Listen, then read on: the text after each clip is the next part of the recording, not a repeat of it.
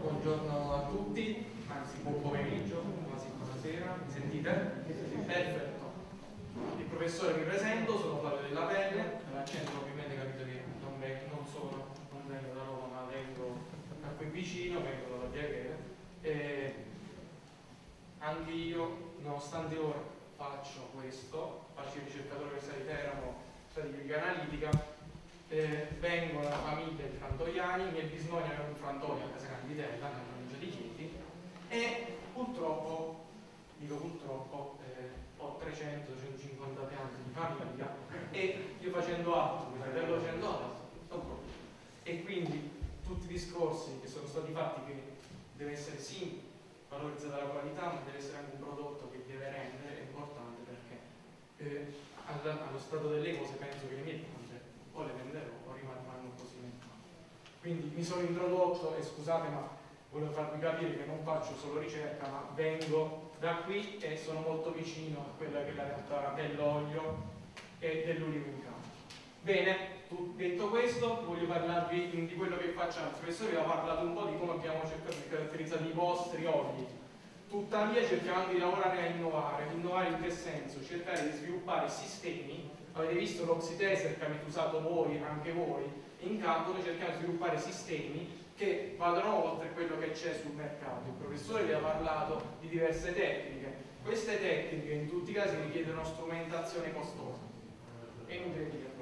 È inutile, con una strumentazione costosa i posti avete sentiti. Quindi quello che cerchiamo di fare è di creare dei dispositivi per valutare, in questo caso, composti della qualità e della sicurezza alimentare eh, della qualità parlerò oggi, vi farò due esempi dei polifenoli dell'olio d'oliva, però della sicurezza alimentare ne lavorerò anche molto con l'analisi di contaminanti, che possono essere pesticidi, microtossine in campo.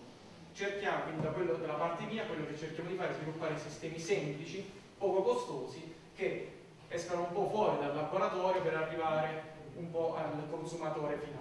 Diciamo un po' come l'oxytester, ma ancora meno costoso e con qualche informazione di più. Allora, per quanto riguarda l'olio, oggi vi presenterò G due dispositivi vi farò vedere anche fisicamente.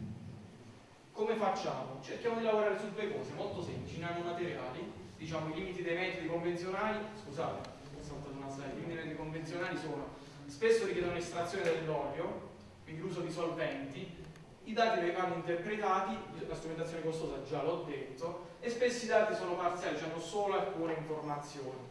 Noi cerchiamo di sviluppare sistemi su carta, plastica, sistemi molto poco costosi che diano la possibilità di valutare composti, in questo caso composti della qualità, visivamente semplicemente utilizzando lo smartphone.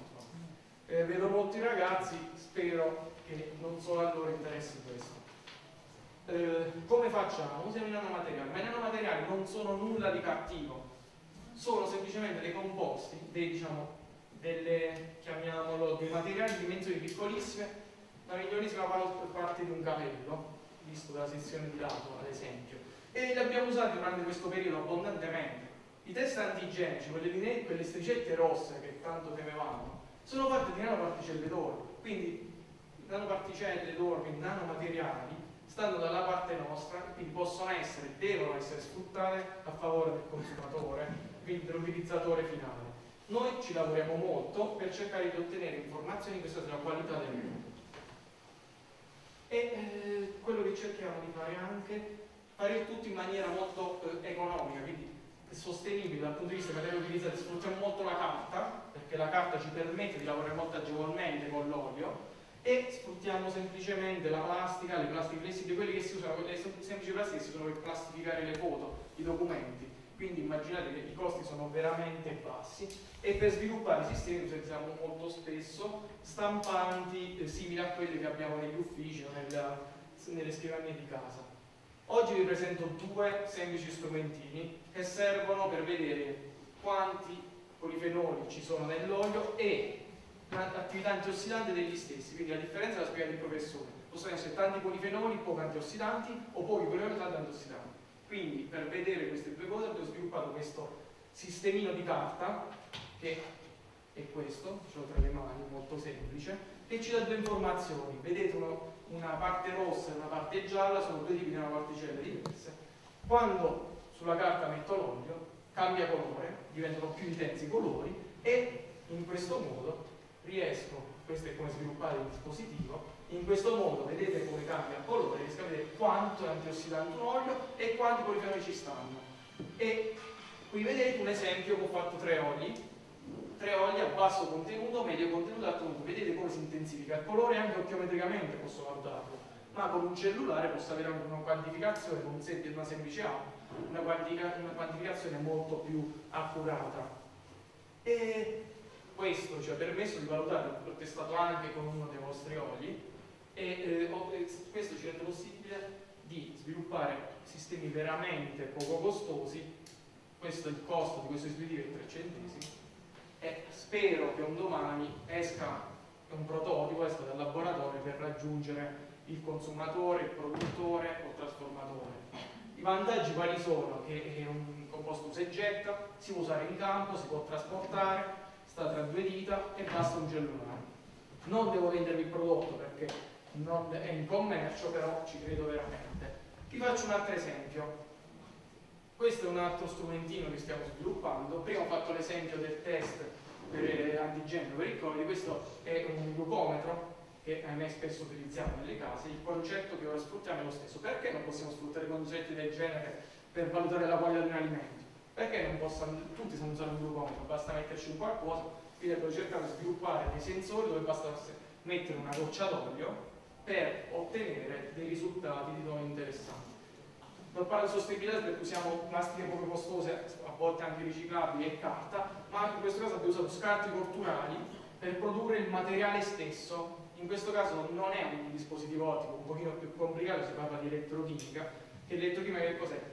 Vede come dei composti cambiano delle correnti. Perché? In questo caso con i fenoli donano elettroni, vediamo quindi assorbimento, rilascio di elettroni, quindi i picchi che vediamo sono proprio correlati al potere, alla capacità antiossidante che hanno questi composti.